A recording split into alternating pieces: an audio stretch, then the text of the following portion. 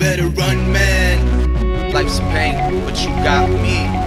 Yeah, life's a pain, but I got you.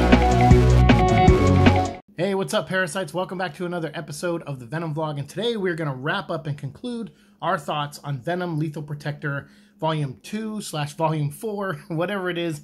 But this is issue 5, and this is by David Michelinie, who's writing on it, um, doing the writing duties, and then Farid Karami, who's doing the amazing artwork. And I got to be honest, the story wasn't anything you know super special considering it's from you know half of the creators of Venom.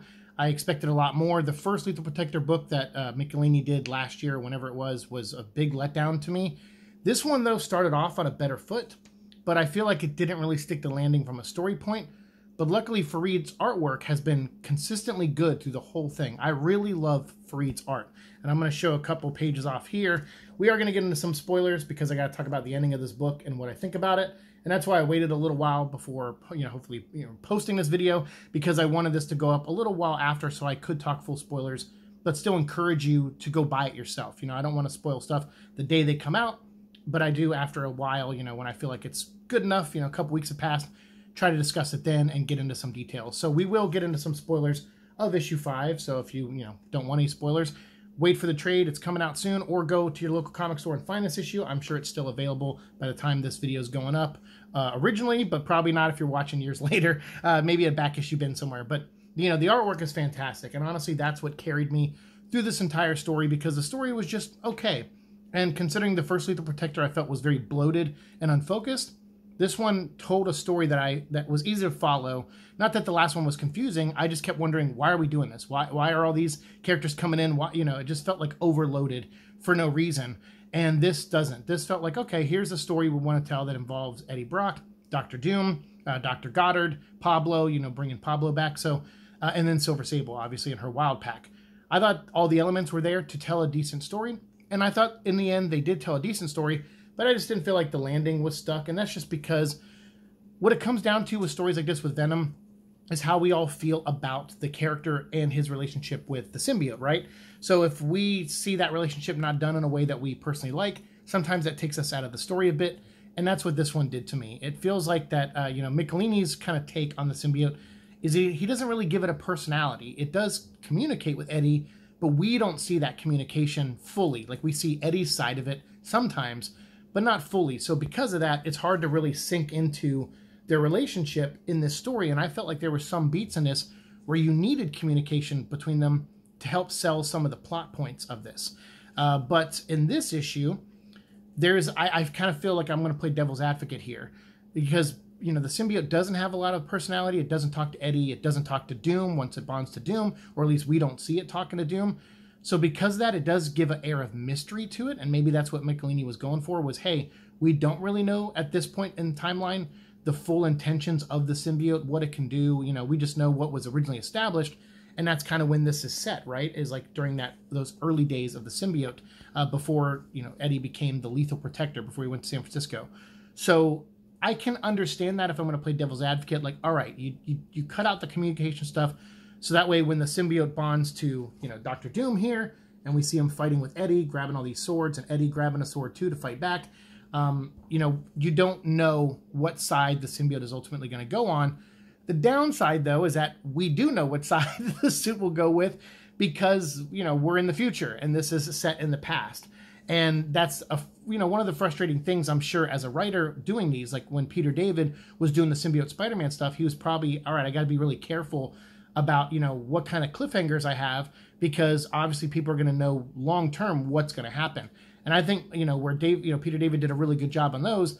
Michelinie struggles here. It's I feel like he still writes like people don't know what happens after this at times, you know, and uh, and I don't know. So that kind of takes me out of the story a bit, but that's also just my opinion, and it's just coming from like what I see on the page, uh, from the dialogue and stuff. Uh, but the art, luckily, every time I read something dialogue wise that pulls me out, and I'm kind of like, ugh, you know, I'm I'm not feeling this.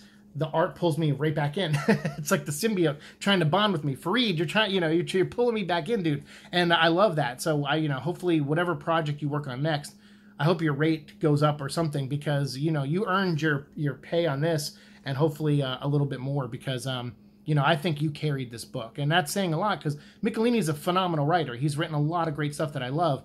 but his just current Venom stuff hasn't fully hooked me. And although this is a big step up from Lethal Protector, the previous one, three or two or one or whatever he calls it, um, it is a big step up. It still has moments where I'm like, ah, I don't know, I can't, I can't fully get into this story. And you know, you have these big action scenes with Sable showing up. So basically, the to you know kind of recap a little bit, you know, Doom has the symbiote. He's like, all right, I'm going to use this. I'm going to go, you know, go into hell or whatever I'm going to do. I'm going to go attack some people first and his kind of his motivations go all over the place and they do address that so you know to give Michelinie credit he does address that uh, of why doom is not acting like the doom that was around during this time period who wasn't a good guy by any means but had like a code and he's breaking the code big time in this book but it's because he bonded with the symbiote and it's kind of toying with his emotions. Every time he thinks about his mother he thinks about something else it's pulling out, out that emotion and bringing out kind of you know a less focused side of doom um, one that doesn't have those rules or follow those rules. So okay I, I can you know buy that for a little bit you know for for the sake of this story. I'm like okay i don't love it but i guess it's something. Uh, but you know so you have eddie who's captured dr goddard breaks him out and then eddie you know frees pablo he you know gets dr goddard out of there silver sable and her team show up they track you know eddie and or actually they track dr goddard back to this facility and they're coming to save Goddard. Eddie, I think at one point says, "Oh, great, they're coming to save me," and Goddard's like.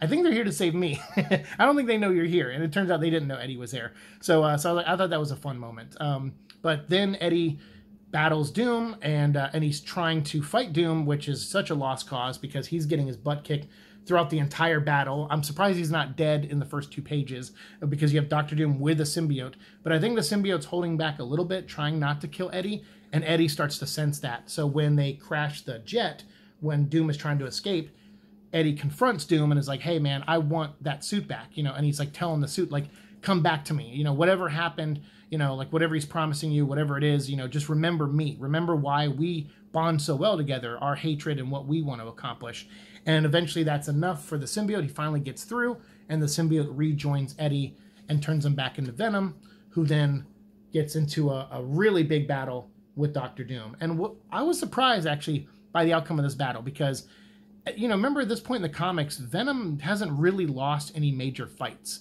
Uh, at this point. I mean, I guess maybe Maximum Carnage, he got weakened during that. Um, but I don't think the Clone Saga stuff had happened yet, or maybe it had just happened. Um, and maybe, you know, I don't know. I don't, I don't, we, it's still hard to determine when in the timeline this kind of takes place. Um, but uh, what we do know, though, is that Eddie is, you know, not holding back, and neither is a symbiote because it doesn't like it, or it didn't like, I guess, being bonded to Doom, and it likes being back on Eddie. I'm assuming because there's no real, you know, peek into its mental state. You just just going by actions um, and the visual storytelling. You can see that they bonded together again, and they're taking Doom down, and they actually defeat Doom. I I wasn't expecting that. You know, Doom is a uh, he's not an easy guy to defeat for sure. Um, but at this point in the comics, neither was Venom. But I still feel like what they did here it kind of works because you find out that Doom is disoriented kind of too. After being separated from the suit, clarity's starting to set in. Oh my goodness, what have I been doing? You know, what he's remembering his actions through the lens of the symbiote being bonded to him and he's like, "Wait, that's not my MO. That's not what Doom's about." So to be fair, you know, he does lose, but he is not on his game either. I think if he really wanted to kill Venom in this moment, I feel like Doom could have. But because of that reason, at least that's what I'm imprinting on the book based on just kind of visual uh, storytelling, I'm going to say that Doom kind of let him win a little. And then they make a deal, and he says, Look, I'm never going to mess with you again. Doom is like, just, you know, the symbiote, Venom puts a, a chunk of it inside the suit. It goes into Doom's armor and finds its way into his nostrils and mouth and is clogging up his breathing. And Doom is like, Fine, I'll, I'll do whatever. You know, I'll, I'll, stay away from you. I won't try to t- take your symbiote again. Um, you know, whatever. It's it, it's it's a poison anyway. It got in my mind. It affected my emotions, and I don't want to be a part of it anymore. So please just spare me, and I'll let you go, and I'll never bother you again. Which okay, now that you put that in the continuity, then how do you explain Carnage Bomb or Venom Bomb? Uh, you know, when Bendis did that, like I was hoping this would kind of tie some of that together a little bit. Um, but then again, there you go, having unrealistic expectations uh, for for writers, you know, knowing multiple continuities. Um, but even then, it's like I don't know. It I don't blame Michelinie either because he's probably like whatever. Venom Bomb was just like a throwaway story for like two issues anyway, in Bendis's Avengers run. So anyway, Venom does win. He beats Doom, or or he makes the deal with Doom, and then lets Doom leave. And so Doom takes off and then that's when Dr. Goddard is rescued by Silver Sable and her team. Pablo is rescued, and uh, you know, and Eddie kind of gets a, a handshake and a pat on the back from Silver Sable. But we don't see Fury again, so you know that whole story just ended in the last issue or two, uh, which that feels like Michelinie. You know, whenever he writes these miniseries, he's like, all right, this character's gone now, and you're like, oh, okay.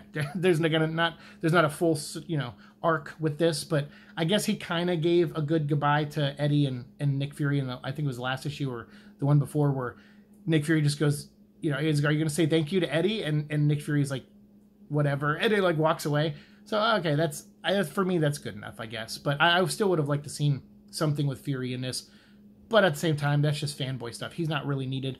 And and Michelinie does do a good job, at least in the last few pages, just focusing on how to wrap this up. Uh, even though I don't feel like the landing was stuck, that's mainly because the stuff with Doom I didn't really fully like.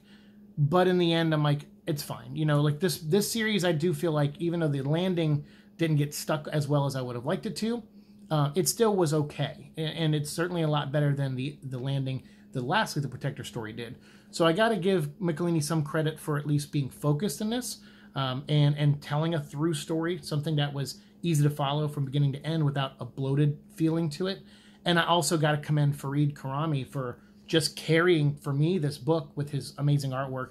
And I can't wait to see where Farid goes next. So Farid, if you end up watching this video, you know, um, you know, I, I love your art, and uh, and I don't have really any criticisms of it as an editor and as someone who just loves reading comics.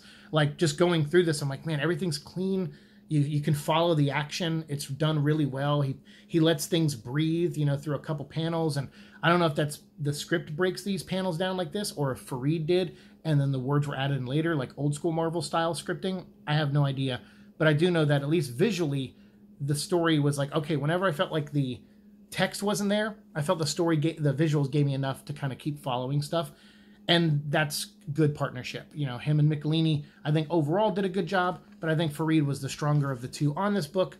Uh, but that's just my personal opinion. Um, I still think Michelinie is a fantastic writer, and I, but I I don't know if I want him to do any more of these. Although this one was better than the last, so if he does one more, maybe it could get you know even better. You know, who knows? But if you do another one, Michelinie, bring Farid back if he's available uh, because uh, yeah, artwork's amazing. So overall, Lethal Protector two slash four, whatever this is, I'd probably give it like I don't know the first the first Lethal Protector Michelinie did that he came back with.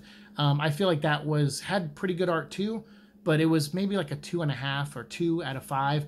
This I feel like it's a three and a half to four out of five. Like it's it's good, you know, it's good, and uh, and that's a step up. And so uh, so yeah, for me, I dig it. That's my opinion of it. But if you have a different opinion or same opinion, whatever it is, let me know down below. I'd love to keep talking to you about Lethal Protector. We can talk about all the spoilers from all the issues.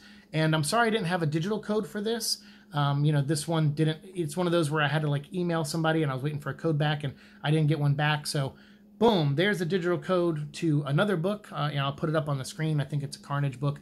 So if you want that, first person to put that code in for making it to the end of this episode gets that comic book. But only works once, so hurry, type it in, get there, go to that website, put that code in, and let me know your review of that book down in the comments below. Or you can find the video that we reviewed if you want to put the comment there. That's fine too. Uh, but anyway, Venom Lethal Protector. Do you think they should get another series? You know, do you think there should be at least one more from Michelinie and make this kind of a trilogy type thing and bring us all the way up to you know the moment Peter and Venom shake hands and then Venom goes off to San Francisco? Would you like to see that, or are you fine with just these two? Um, I could go either way. If they announce another one, I won't be upset about it, and I'll probably read it. Um, but uh, if they don't announce another one, I also won't be upset. Uh, but I just hope Farid continues his career at Marvel or in comics, goes out there, finds another project, and whatever you're working on, Farid, I'd love to know it because I want to read it when it comes out for sure. So thank you so much for watching the show. As always, like, share, subscribe, all that fun stuff, and I'll have more Venom vlogs for you very soon. blah, blah, blah, blah, blah, right? I'll have more Venom vlog for you very soon. Thanks so much. See you in the future. Peace.